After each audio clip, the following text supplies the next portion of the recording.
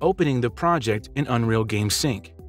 In this section, we will open the project in Unreal Game Sync. Make sure that yourself and any other necessary users have access to the Unreal Game Sync depot. You and other users can locate double forward slash Unreal Game Sync forward slash Unreal Game Sync forward slash Unreal Game Sync.msi and double click it. The installer will be downloaded and the installation process will start. This might take a while because the file is being downloaded in the background. Allow the installer to make changes to your PC if prompted. After installation, the UGS app should start automatically. If not, find an icon on the desktop or in the Start menu. If necessary, input the server address, user, and depot path. In our case, depot path will be double forward slash Unreal Game Sync forward slash Unreal Game Sync forward slash bin. Press connect and the app should launch without errors. If the project wasn't added before, press Open Project. Toggle Workspace, press Browse, and choose the existing workspace with a project. When the Select Workspace menu opens, it will show you a list of workspaces that you can choose from. Select Stream, double forward slash UGS test project forward slash main. Press OK to close the Workspace Settings window. Now click the Browse button next to the Path field. With the Select Project menu open, expand the workspace tree, select the .uproject file, and click the OK button.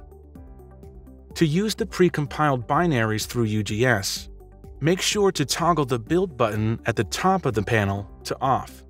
Then go to Options in the right bottom corner and click on Sync Precompiled Binaries. Then click Sync Filters, check Sync All Projects, and include all synced projects. Uncheck the unneeded categories here, depending on your project. In our case, Win64 and Content. Then, select the necessary engine version, right-click, and select Sync. Wait for the project to sync and the Unreal Editor will launch automatically after the download. Later, if you wish to launch the editor again, you can double-click the line in UGS. Syncing from the Change List area Now that you've opened the project with UGS, let's cover syncing from the Change List area. Make sure that you have logged into your Perforce Helix Core Depot and perform the following steps.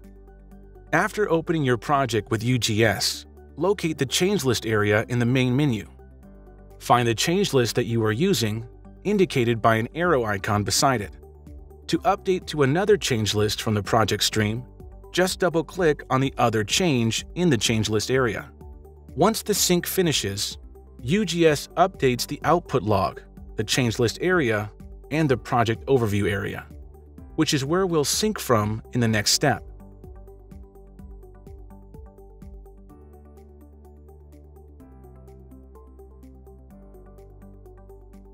Syncing from the project overview area. Finally, we'll cover syncing in UGS from the project overview area. Locate the project overview area in the main menu and click the down arrow button next to the Sync Now To button link. In the menu that opens, select the latest change option.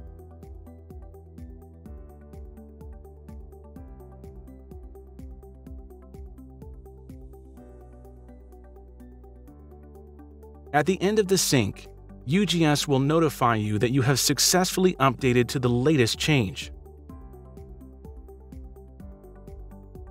These steps should cover all commonly used features for Unreal Game Sync. For additional documentation, you can always check out the UGS reference guide linked below.